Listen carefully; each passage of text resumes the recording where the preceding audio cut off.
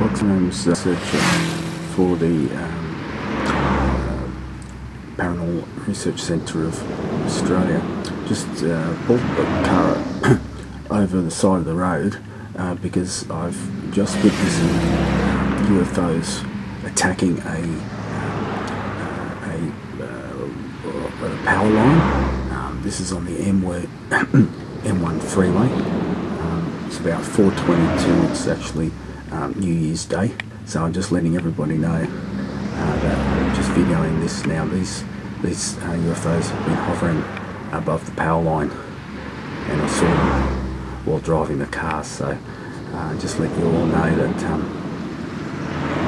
it looks like it's under attack.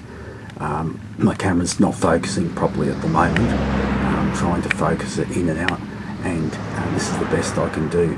So I don't know if, if you're getting much, but it's it's um, it's, I don't know. There seems to be about a dozen UFOs over this power line, and they seem to be dragging the power out of the power line while we speak. I've never seen anything like this before. It looks like we're under attack. So I just thought I'd let you know. I have to go now. There's some other UFOs behind me, so I better uh, I better get going for safety.